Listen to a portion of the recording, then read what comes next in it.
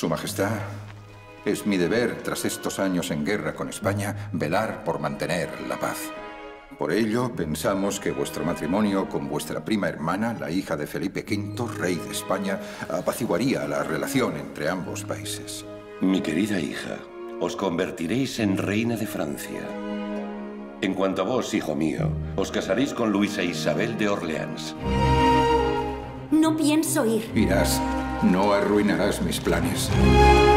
Las princesas sirven para casarse y perpetuar las dinastías.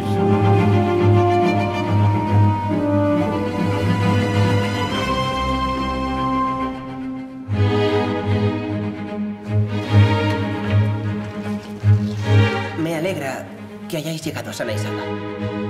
¿No os apetece comer nada, señora? Podéis comer con las manos si lo deseáis. Recuerdo que así se procedía en Versalles. El futuro de Europa está en juego.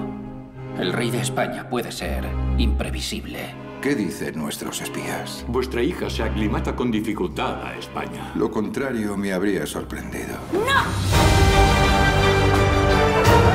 Habría sido un rey patético, cobarde. Se requiere un heredero urgentemente. Temo que la infanta es muy pequeña. Alejaos de esta niña. Pero me amáis, ¿verdad?